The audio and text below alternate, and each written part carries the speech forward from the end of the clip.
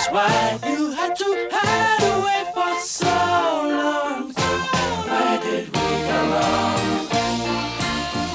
Mr. Blue Sky, please tell us why you had to hide away for so long.